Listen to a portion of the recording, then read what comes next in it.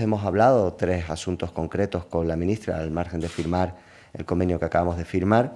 en los que yo creo que nos alienta en ese trabajo de coordinación y de compromiso que estamos teniendo. Uno primero de ellos eh, ha sido el que ha quedado resuelto en los presupuestos la posibilidad de poder modular los recursos que vienen de empleo para darle mucha más flexibilidad y adaptarnos al cambiante mercado laboral canario que como bien saben está muy vinculado al sector de servicios y del turismo, y la posibilidad de poder destinar fondos a un proyecto de autónomo. La comunidad autónoma de Canarias es la que más porcentaje de autónomos está teniendo de crecimiento de toda España y necesitamos poder animar ese autoempleo, dado que la tasa de emprendimiento en Canarias está por debajo de la media de España y está por debajo sensiblemente de la europea. No, solo eh, se anticiparon a nuestra petición, sino que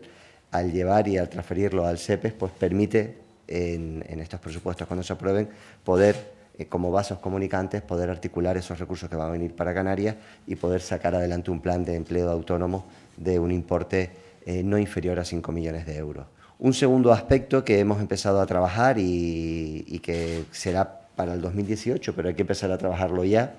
y es el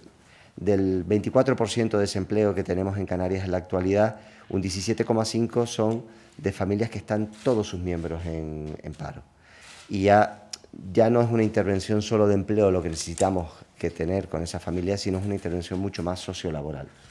Y ahí eh, el poder destinar y vincular eh, los aspectos sociales a los del empleo, a los formativos, eh, nos permitiría poder intervenir en esas unidades familiares donde no ya no es encontrar un empleo, sino en muchas ocasiones un trabajo más incluso de psicólogos que permitan adecuar y romper al menos algunos miembros de esa unidad familiar y que salgan y, sean, y ganen en autonomía.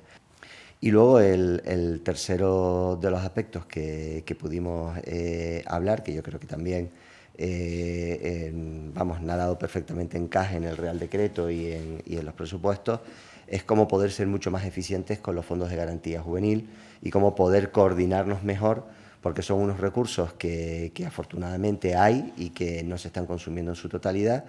y en la preocupación de que los jóvenes puedan salir adelante y ahora mismo que, como bien he dicho, 38 meses consecutivos generando empleos en el país, pues